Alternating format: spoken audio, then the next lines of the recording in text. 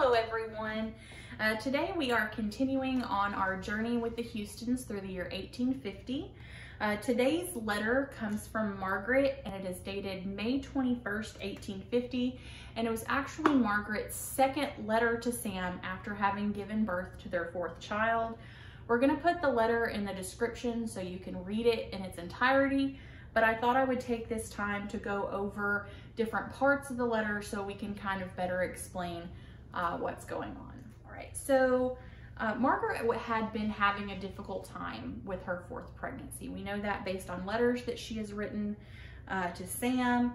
And in this letter, she says, My health has been so feeble that I afford little nourishment to her, and we are compelled to feed her on milk. The sugar teat I have discarded and yet she grows more rapidly than any infant I have ever seen. Sam has not yet complained to me yet, but to Kitty a few days ago said that he believed he was never to have a little brother.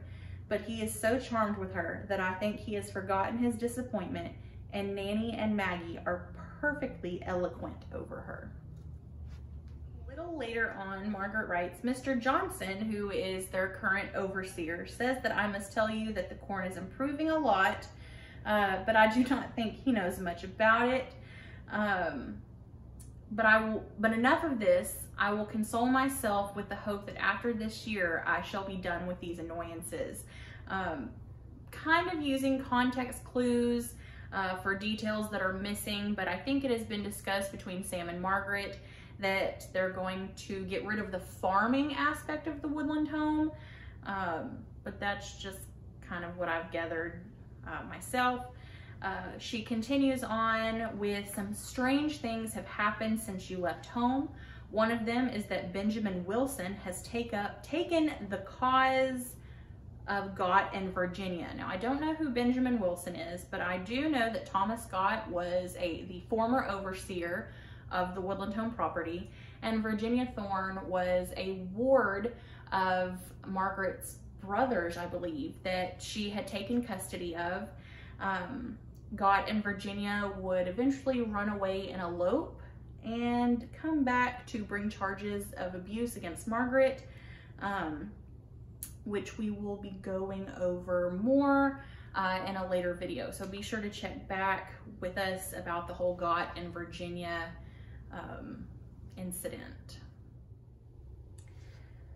Once she kind of sums up what's going on with Gott in Virginia, she writes that Huntsville has lately been visited by another hurricane.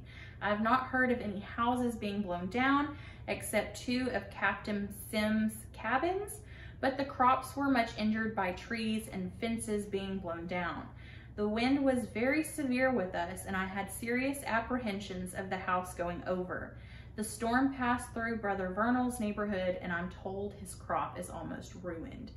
Um, we're kind of working our way into hurricane season right now, but in all likelihood, Margaret is probably uh, writing about a tornado. Um, as she had written in another letter, uh, she said, we've been visited by a hurricane, but the season was more, it fell more in tornado season. And Margaret, having been from Alabama, would have been more familiar with, with hurricanes more so than tornadoes. But it's, probably a tornado she's talking about. Um, and then she kind of closes the letter talking about what's going on with the kids. Um, Nanny, their oldest daughter, had been suffering from a case of worms and writes that I have been giving Nanny a kind of vermifuge for worms and her cough is much better, but if it should return, I will try your remedy. Mother is well, um, and hope you are well, thy affectionate wife, M.L. Houston. And she includes a little P.S. Sister Catherine, it was expected, could be baptized last week. So there you have it, guys.